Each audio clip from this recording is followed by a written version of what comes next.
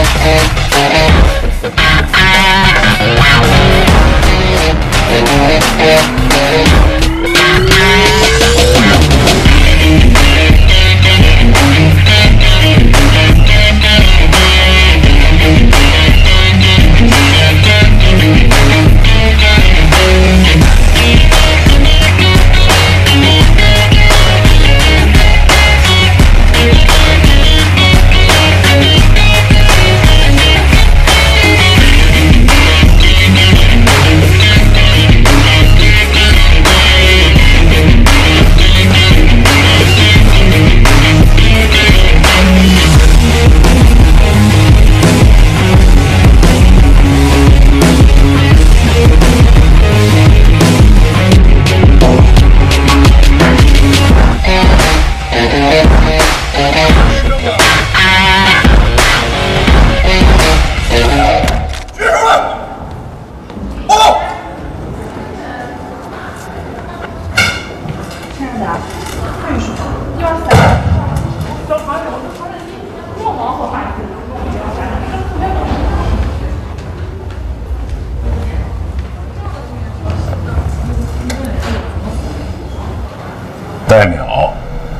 能告诉我刘闯和夏冬在什么地方吗？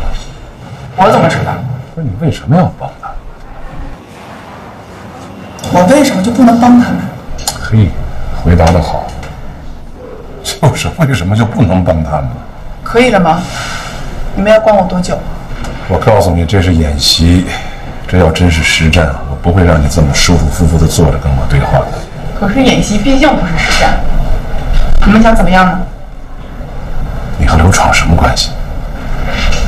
这好像是我私事吧？对，是你的私事。我只是想探寻那个秘密。同志关系。哦，明白。看来我也问不出你什么东西。干嘛？还想拦着我呀？刚才你们的 war game 已经结束了，我现在要去工作了。要不，你们找我们院长、政委，让我们保卫处把我抓起来。你是学医的对吗？对呀、你不是能耐吗？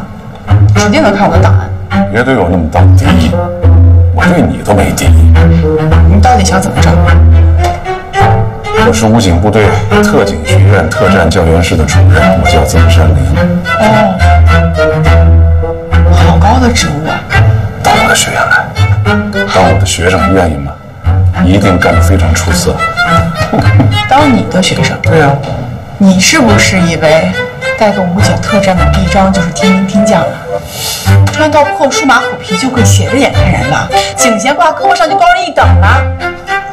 我告诉你，我不稀罕，我不喜欢，我不愿意。我就看不惯你们这帮武警特战的，一个个什么呀，傲气十足的，长三头六臂了。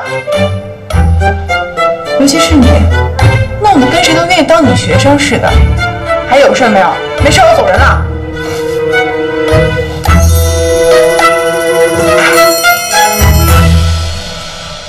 就这么放他走了？那你们说呢？我们抓他有什么理由？他又能说出什么呢？刘闯和夏冬去哪儿？不会告诉他的。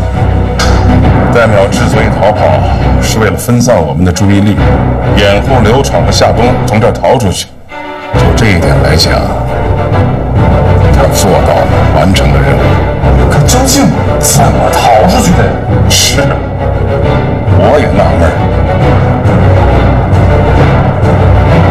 整个医院从天空、地面到地下立体式的布防，水泄不通，一只苍蝇都难飞出去。可他们俩